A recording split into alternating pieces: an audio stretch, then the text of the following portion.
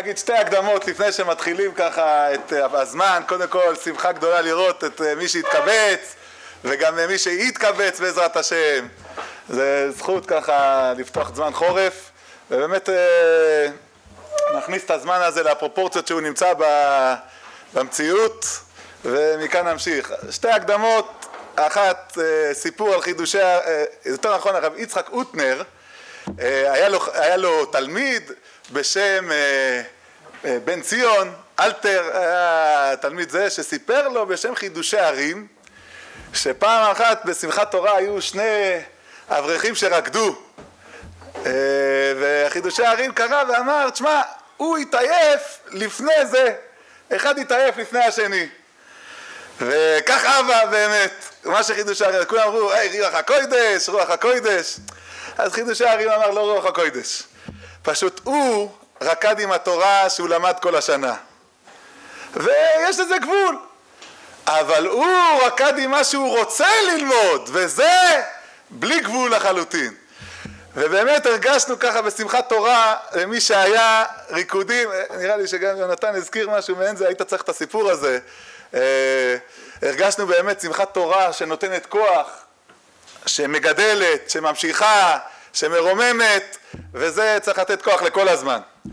זה נקודה אחת. הנקודה השנייה שלא יכלתי להתאפק חודש שלם אני רוצה להקריא את הגמרא הזאתי ונתנו לי הזדמנות עכשיו אז אני מקריא. גמרא מפורסמת אבל באמת צריך לחוש שאנחנו נמצאים הגמרא בסנהדרין דף צדיק ז עמוד א' אומרת הגמרא תנו רבנן שבוע שבית דוד בא שנה ראשונה מתקיים מקרא הזה ואם תרתיע על עיר אחת ועל עיר שלישית וכולי. לא נגיד את כל הדברים הרעים שקורים חמישית צום הגדול אוכלים ושותים שמחים ותורה חוזרת ללומדיה בשישית קולות בשביעית מלחמות במוצאי שביעית בן דוד בא. אמר רב יוסף היה כמה שביעיות דאבה כן ולא עתה היה כמה שביעיות שלא יגע? אמר אביי בשישית קולות בשביעית מלחמות מאבה? ועוד כסדרן מאבה אז קודם כל קולו, אצלנו כבר זה נראה לי כסדרן וגם קולות, היה את כל החסידי חב"ד שאמרו שהוא המשיח, היה כבר קולות של מלך המשיח שהוא מגיע ובאמת אני חושב שצריך לחוש את הזמן הזה בין, משיח, מה, משיח מגיע לא במובן של we want משיח now, אלא לזמן גדול, זמן של התפתחות גדולה של המציאות שאנחנו מייחלים שזה יהיה האות, שזה יהיה הזמן וצריך להמשיך אותו ולקחת אותו עם כל הכוח ובעזרת השם בסוף אני אחזור לזמן, לתקופה שאנחנו נמצאים, לשבוע הקרוב וכל הדברים האלה אבל באמת צריך לחוש, לחוש את זה שזה מוצאי שביעית בן דוד בא וזה זמנים חשובים וצריך להיכנס למצב רוח הזה. ומכאן אני רוצה לדבר על זמן חורף שהוא תמיד את כל אדם זה מלווה בשלוש מעגלים. המעגל האישי הפרטי שלו המעגל הישיבתי והמעגל של עם ישראל. ואני באמת אדבר כל מעגל כשלעצמו ונרחיב. יש פסקה של הרב באורות התורה פרק י"א פסקה ד' הרב אומר התורה מורידה למטה את העולם הרוחני אל האדם. ובזה כל התענוגים העליוניים פתוחים לפניו וזהו העושר האדם ותכלית יצירתו. התורה היא זה האמצעי להוריד לנו את כל התענוגים העליוניים ככה האדם רוצה תענוג עילאי הוא צריך לשקוד על התורה. זה הדרך, זה הצינור להוריד את כל הדברים הגבוהים למעלה וזה התכלית שלנו להוריד את הדברים העליוניים לחיים. אבל הרב אומר יש תנאי. כדי להוריד את העולם הרוחני אליו צריך שירגיש שהוא חסר לו. והיינו אני אדכא ופסל הקדוש ברוך הוא כל הערים וגבעות שבעולם ולא אשרה שכינתו אלא על הר סיני ולא גבה הר סיני למעלה. תמיד אנחנו אומרים הר סיני ענב. הענב הוא היה קטן נמוך נת... ענבה זה הרגשה של חיסרון. רק מי שיש לו צמאון לתורה. אני מדבר עכשיו על זמן חורף, זה זמן שכולם צריכים צמאון לתורה, הרגשת חיסרון. רק אדם שמגיע לכל שיעור עם תחושה שהוא רוצה להתמלות, הרב הזה מעביר שיעור, אני מגיע, מה יש בסדר? הצמאון הזה חייב להיכנס לכל אחד. הצמאון הזה הוא הכרחי. לא פסל הקדוש ברוך הוא ולא ישרה את שכנתו עליו זה יש רק ואני אהיה דקה זה נקודה של צמאון של חיסרון. אתה רוצה להתמלות? לכן אתה מגיע לסדר בוקר ואתה רוצה להבין עוד ורוצה לשקוט ומה הרב אמר ככה ומה אמר ככה ואחר כך אתה סדר צהריים להקיף את המסכת. אנחנו נדבר על זה מסכת שבת.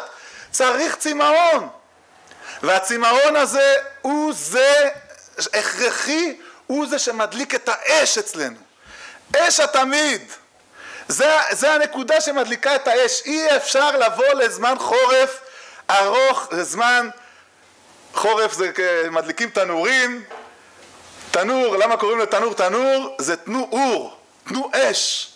צריך לתת אש, להדליק את האש אצלנו. זה המטרה בזמן חורף. לא מגיעים פנימיים, מגיעים עם אש, עם צמאון, עם רצון להשלמה. ידוע בפרשת וזאת הברכה, יש לנו אש דת. שזה שתי מילים שכתובים במסורה בתור מילה אחת. יש בכל התנ"ך, יש משהו כמו, ראיתי בשי למורה שם, הוא אומר חמש עשרה פעמים. אבל פה זה, ודאי שיש טעם. אי אפשר להגיע לתורה בלי אש. בלי אש המדליקים, אש יוקדת. וכאן אני חייב להקריא את אה, הדברים של הרב צבי יהודה, שבאמת אני חושב שזה בעצם כל המטרה שאנחנו מגיעים לבית המדרש. זה לא רק לעבור פה איזה חוויה מסוימת, זה לעבור על ידי האש והרצון שלנו שינוי, להפוך את האישיות שלנו למשהו אחר לחלוטין, לא למה שהיינו בו, לתלמיד חכם, לקומה נוספת, וגם אם לא להגיע לתלמיד חכם הגדול, אבל למשהו. והדברים של הרב ציודה מהגמרא בסוף מסכת חגיגה, אני מקריא אותם כי הם חביבים. תלמידי חכמים, אין אור של גיהנום שולטת בהם. אומר הרב ציודה למה? כי הם בעצמם אש. תלמיד חכם הוא בעצמו אש. תלמידי חכמים כל גופן אש אומרת הגמרא. תלמיד חכם הוא אישיות שמזדהה עם התורה, הוא עצמו אש. כי התורה אש, דכתיב הלא כל דבריי כאש נאום השם. על כן אין אש שולטת בו. ואז הגמרא אומרת קל וחומר מסלמנדרה. רש"י מסביר שסלמנדרה היא חיה נבראת מן האור. כשבוערים אש במקום אחד שבע שנים, תמיד, בלי הפסק, נוצרת חיה שהאש לא, יכול, לא שולטת בה. למה? תדליקו בגז שלכם בבית, תעשו ניסיון, רק שלא יתפוצץ, אש שבע שנים באותו מקום, יצא חיה סלמנדרה. הזאתי שרצה ככה, זה, אז היא, האש לא שולטת בה. אבל תראו מה אה, ממשיך הרב צבי יהודה ואומר חיה נבראת מן האור כשבוערים אש במקום אחד. שבע שנים מהווה תקופת חיים שלמה. יש ערך לקביעות בלימוד במשך תקופה ארוכה. צריך לשבת, אי אפשר להיות תלמיד חכם ואש בלי שאתה, ברור שאתה צמא אבל בלי שאתה קבוע. יושב בבית המדרש כל הזמן. אין מי שיש לו צמאון והוא רוצה להיות קבוע ולהשתנות, אין שאלה באיזה שעה הוא מגיע לסדר. אין שאלה מתי הוא הולך לישון כדי לקום בבוקר כדי להיות. זה עניין של קביעות, זה עניין של השתנות. עוד רגע נגיע למדרגה הכי גבוהה שיוצא מהגמרא הזאתי. אבל אומר הרב ציודה, עשה תורתך קבע. בניגוד לפיזור.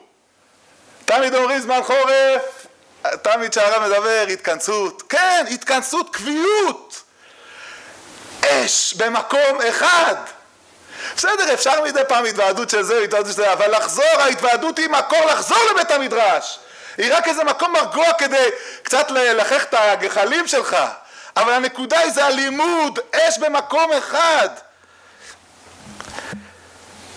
קביעות נפשית ואישית, קביעות מחשבה ומעשה, במשך תקופה ארוכה של שנים, בשקידת אש, צומח תלמיד חכם אמיתי של אש. אז הרב צבי יהודה מביא פה את הרבי עקיבא איגר, ש... שאומר, שמציין שיש אה, במסכת חולין, שסלמנדרי בריאה נוצרת על ידי כישוף. לא כולם, יש פתאום תלמידי חכמים, אתה יודע, שמלמדים ככה אה, מהר, אה, טוב, יש, הרב זצ"ל הסביר שזהו החילוק בין תלמיד חכם שאין בו דבקות אלוקית אמיתית, אלא מגע מועט פה ושם, מי שגדול יודע מי הוא סלמנדרה על ידי כישוף ומי סלמנדרה על ידי אש. אבל הנקודה הזאת שאנחנו באים לישיבה להשתנות, שהחומר שלנו ישתנה, כן, לצאת תלמידי חכמים, זה לא בושה, שהגוף שלנו ישתנה. אני זוכר, הייתי במקור חיים, הייתי תלמיד, ישבתי מאחורה באוצר הספרים, הרב שטיינזרץ הגיע וסיפר לנו, כרכנו שם ספרים, לא משנה, הוא אמר לנו שאת הגמרות שלו לכרוך מהצד השני, את השטיינזרץ שלא אפשר לפתוח אותם אבל אז הוא סיפר לנו שם תוך כדי שהיה לו איזו תקופה שהיה לו משהו ג' משימות ממש ענקיות לקח על הכתפיו, אחת מהן זה לכתוב את הש"ס שלו והוא ממש הרגיש שהוא נופל בנטל, משהו לא, אני זוכר את זה גם שהוא סיפר לנו את זה, נופל בנטל, אה, והוא שלח לאדמו"ר מחב"ד, מה, איזה מהם להוריד, הוא מנע ממנו את השלוש, אה, את, מה, את המשימות האלו, וכמובן התשובה לא יכלה לבוא, והרבא מחב"ד אמר לו, תוסיף עוד שניים. אז הרב שטיינרץ אמר לנו, ועכשיו אני אומר לכם משהו שהרבי מחב"ד לא אמר לי, אבל אני אסביר לכם את מה שהוא התכוון במילים אה, פיזיקאיות, ככה הוא אמר לנו. הוא אמר לנו, תנסו, אה, שבפיזיקה אומרים שמכניסים לקופסת גפרורים חומר, אז מכניסים אותו, ואז יש דבר שנקרא דחיסת חומר, שדוחסים את החומר וזה עובד, אבל במדע אומרים שהדחיסת חומר זה כבר לא אותו חומר. ברגע שאתה דוחס אותו בצורה כזאת שממש אתה דוחף נוצר חומר חדש. זה לא החומר שהיה. יש איזה נקודה שאדם הוא מרגיש שהוא יכול לעשות ככה וככה. תוסיף עוד משהו. אין דבר כזה, קשה לך לקום בבוקר אז תקום יותר מוקדם, חצי שעה לפני. דחיסת חומר לשנות, מי שלא פה תמסרו לו את זה. לשנות את החומר. גם אני אומר לעצמי, יש משהו בישיבה, משנים את החומר, את ה-DNA שלך. זה לא מה שהיה, זה נקודה אחרת. אתה נהיה אישיות אחרת. משל, משל קצת שונה, אני לפני הצבא עשיתי ריצות פה ב... טוב, זה עליות וירידות פה, אז זה לא חוכמה, אבל אלפיים, אצלנו ברור היה אלפיים, הבנתי שזה יותר, אני לא יודע מה. רצתי, לא נעים לי להגיד, ב-14 דקות, 15, לא, לא גבחת מציע. אה, בצבא, כל הזמן, עד שאתה יוצא, היה לי כמה חברים בישיבה, עד שמוציאים אותך לעשות איזה כושר, אתה יודע, הכל הזה, בקושי עושים שם כושר, עד שאתה עושה בוחן מסלול, הכל, לפחות בתקופתנו, הכל, ואיכשהו, דווקא בברור עשיתי 7.45 ב-2000, לא יאומן, זה נראה לי נס. אבל בצבא בדיוק עובד על הדבר הזה, אתה עושה שתי סיבובים סביב המחנה, אתה חושב שסיימת? עוד סיבוב אחד. הם לוקחים את הנקודה הזאת שאתה מגיע לקצה היכולת שלך ואתה מוסיף, אתה בעצם משנה איזה משהו. אתה מגיע לאיזה נקודה יותר גבוהה. זה נקודה שאנחנו חייבים, כל אחד בזמן חורף הזה, אני גם מרגיש שזו תקופה גדולה. ובתקופה גדולה יוצאים דברים גדולים. תמיד אנחנו רואים את זה, שאנשים שבתקופות גדולות, התקופה הכריחה אותם לצאת גדולים, וזה מוטל עלינו. לעשות אש במקום אחד, לבוא עם צמאון, לבוא עם אה, תשוקה ולבוא עם הרבה הרבה רצון להיות תלמידי חכמים, לשנות את החומר, את ה-DNA שלנו. זה גם, אתה יודע, גם אם לא בתלמיד חכם שאנחנו מדברים שהוא כל החיים יהיה, כן, להיות אישיות אחרת, אישיות שהתורה מקרינה עליה. זה הכרחי וזה הזמן, ואני חושב שכולם צריכים לבוא, כל השבוע האחרון ודאי, אני אדבר בסוף השיחה, לבוא בהתלהבות ובחשק, כי אין לנו ברירה. ככה, זה הדבר הראשון, זה במעגל האישי. ועכשיו ככה קצת לבית המדרש, זה, אני חושב שמי שבשיעור א', בשבוע, בשבת שבושים אמרתי להם את זה, אז זה חידוש לדעתי הגון, ומי ששמע אותו לא נורא שישמע שוב פעם, זה הגמרא המפורסמת ב... בברכות, בדף כ"ז עמוד ב', על תביעת ערבית רשות או חובה ששם הוא שאל את אה, אותו תלמיד, הוא שאל את רבי יהושע, אחר כך שאל את רבן גמליאל וכל הבלגן, ואז אה, העיפו את רבן גמליאל, ושמו את אה, רב לזר בן עזריה, והוא התייעץ עם אשתו וכולי וכולי, ואז יש פה בגמרא, שאחרי שרבן, שרב לזר בן עזריה התמנה, תנא אותו היום סילקו לשומר הפתח, וניתנה להם רשות התלמידים להיכנס. שהיה רבן גמליאל מכריז ואומר כל תלמיד שאין תוכו כברו לא ייכנס לבית המדרש. רבן גמליאל היה לו שיטה, תורה, מי שרוצה שיסתכל בעינייה שמה, הוא מרחיב על השיטה, זה לא סתם ככה, זה לא משהו, אם היו נכנסים אנשים שלא הגונים, זה היה מפרק את הבית מדרש, זה היה מפרק את כל עולם התורה, הוא שמר, הוא סתם שומר בפתח, זה היה עקרוני, זה היה שיטה, תפיסה. ואז הגמרא ממשיכה, אהו יומא יתפסו כמה ספסלי, אמר רבי יוחנן פליגה באבא יוסף בן דוסטאי ורבנן, אמר ארבע מאות ספסלי, אחד אמר שבע מאות ספסלי, ואז הגמרא אומרת, אבא כחלשא דעתי דרבן גמליאל. אמר דילמה חס ושלום מנעתי תורה מישראל? ואז אחזו לבחלמך ציווי וחבירא דמלן קיטמא ולא אלא ליתובה. זאת אומרת, באמת, הוא חדשה דעתו, אז הראו לו. שואל המאור בשמש, ושואלים הרבה פה אחרונים, הרי זו הייתה תפיסה שלו. זו הייתה תפיסה שמי שיראה ברב זצ"ל זה באמת הייתה תפיסה שככה הוא הנהיג את כל המציאות. אז מה חשד דעתך? אתה צריך לקרוא ברגע שאתה רואה 400 ספסלים! זה הולך להפוך פה את כל הבית מדרש, להפוך פה את כל המציאות! הרבן גמליאל לא היה צריך להיות חלשה דעתו, להפך שואל המאור בשמש. ואז אומר המאור בשמש שזה משהו שהוא פלא פלאים, אני אוהב אותו. אומר המאור בשמש, פרט אחד השתנה, שהם נכנסו לבית המדרש. הקירות של בית המדרש השפיעו עליהם, תוכם כברם. העדינות מיד התחילה, הוא ראה שחל שינוי, כי קירות בית המדרש הופכים את הבן אדם. בית המדרש זה לא משהו אה, טכני, איפה לשים את הארון, איפה לשים את התלמידים, בית המדרש יש לו חיות, יש לו אמירה, יש לו נשמה, זה בית המדרש. והבית המדרש שלנו, ופה אני רוצה לדבר על גאוות יחידה של בית המדרש של אלון מורה, וזה בפתיחת הזמן. באמת, בית המדרש נעים, בית המדרש מאיר פנים, בית המדרש חברי, בית המדרש שצמא לדבר השם, בית המדרש שאכפת לו ממה שקורה מסביבו, בית המדרש שנמצא ביישוב מופלא, עם אנשים פשוטים, נעימים, בהתיישבות בארץ ישראל, בתקופה כזאתי שבאמת חווארה זה שיא השיאים של היום, איך הרב אליקים אמר, ומי שהיה בסוכה, שזה המקום הכי חם במדינת ישראל זה חווארה. הוא אמר את זה בשם איזה לא יודע מה, מי שהיה שם, טוב, מי שהיה יודע. אז אנחנו נמצאים בבית המדרש שמקרין חיים, ואנחנו צריכים להיות בגאוות יחידה על זה. וכדי להיות בבית המדרש של אלון מורה צריך לבוא כל בוקר בשמחה, עם דיבוק חברים, עם אהבת רעים, וצריך להמשיך את זה. ואני אקריא פה את הגמרא שנראה לי הקראתי בשנה שעברה בשיחה הראשונה, אבל היא חשובה לי מאוד, ולא לא קרה כלום שחוזרים על דברים כמה פעמים.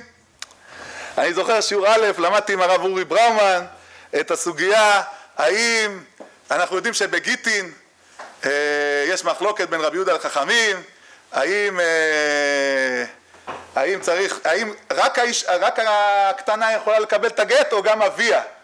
האם שניהם יכולים לקבל אותו גם אביה? ואז ריש לקיש אומר, דע לך שכל מה שאמרת, דיברנו פה, אה, הפוך, רבי יוחנן אומר, כל מה שדיברנו פה זה רק בגיטין, אבל בקידושין רק אביה יכול לקבל. וריש לקיש אמר, מה פתאום? איתקיש הוויה ליציאה!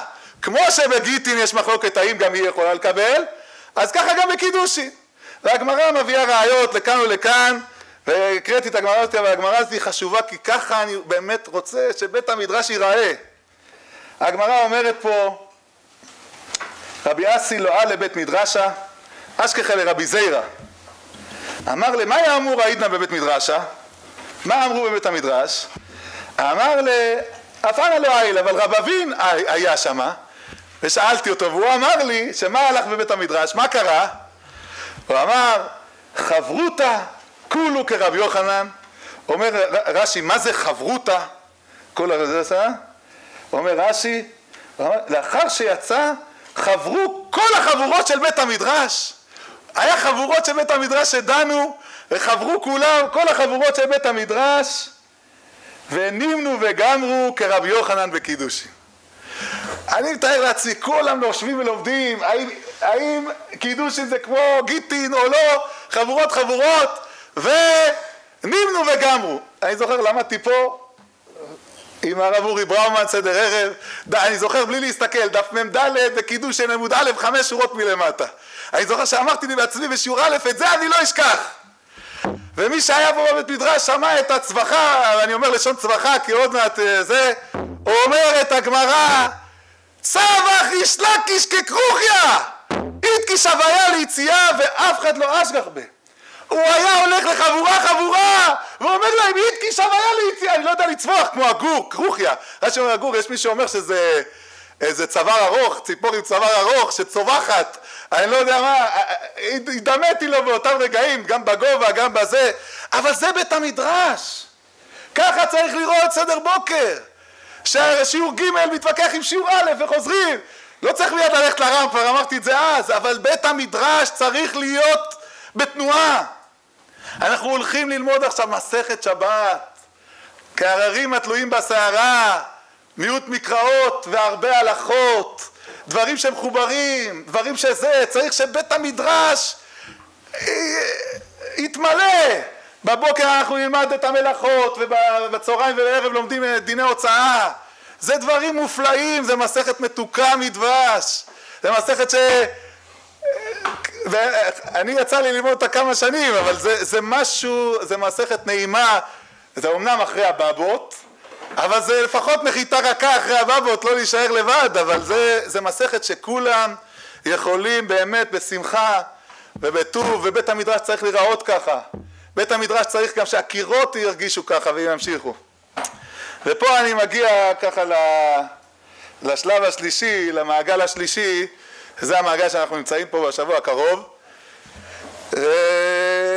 קצת ברשותכם אני אעשה הקדמה, איזה סוג של הקדמה כי אני חושב שזה הכרחי לקראת הבחירות גם אה, לחוש את הדבר הזה. לפני שאני הולך להגיד גם דברים קצת אה, יותר חריפים, לא יותר מדי, יותר חריפים אני חייב לעשות הקדמה ככה קצת על עם ישראל ואז אחר כך אני אגיד פה איזה נקודה.